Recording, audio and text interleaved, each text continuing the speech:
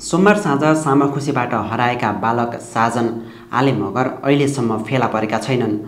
उनको खोजी कार्य तीव्र पारिएको छ तर अहिलेसम्म उनी कहाँ छन् कस्तो अवस्थामा छन् के गरिरहेका छन् केही पनि अत्तोपत्तो छैन। सोमबार साँझ रानीबारी क्षेत्रमा निकै ठुलो बाढी आएको थियो। सामाखुसी क्षेत्रमा आएको त्यो बाढीले साजन आले मगर अर्थात् विधान मगरलाई बगाएर लग्यो। उनी बगाएसँगै उनको न सास भेटिएको छ न त लास नै। नेपाल प्रहरी सशस्त्र प्रहरी यति बेला खोजी कार्यमा तीव्रता दिइरहेको छ। प्रहरीले खोजी कार्यमा तीव्रता दिँदा पनि उनी फेला पर्न सकेका छैनन्। प्रहरीले आज पाँचौँ दिनसम्म पनि निगरानी बढाइरहेको छ। खोला किनारका आसपास हेरिरहेको छ घुमिरहेको छ।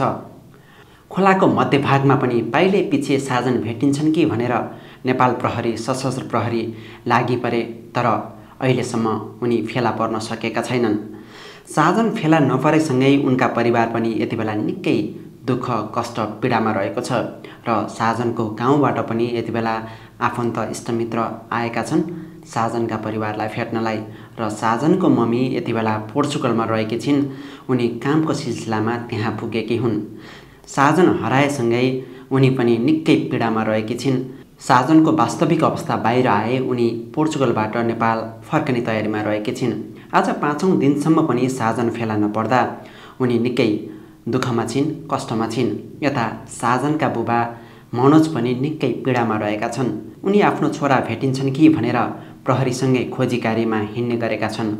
प्रहरीले यसरी खोजी कार्यलाई तीव्र पारिरहँदा अझै पनि साजन फेला पर्न सकेका छैनन्। त्यसैले पनि यति बेला प्रहरी नै आश्चर्यचकित बनिरहेको छ।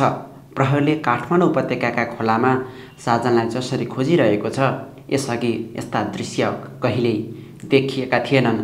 यसपटक साजनलाई खोज्नका लागि निकै ठुलो बल प्रयोग गरिरहेको छ। प्रहरीले आफ्नो शक्ति प्रयोग गरिरहेको छ तर पनि फेला पार्न सकिरहेको छैन। प्रहरीले खोजी कार्यलाई सहयोग पुर्याउनका लागि मकवानपुर प्रहरीलाई पनि भनेको छ तर पनि अहिलेसम्म साजन फेला पर्न सकेका छैनन्। आशा गरौँ साजन अझै पनि जीवितै फेला पर्नेछन्। उनको परिवारमा जुन चोट परिरहेको छ त्यो चोटमा मलम लाग्नेछ।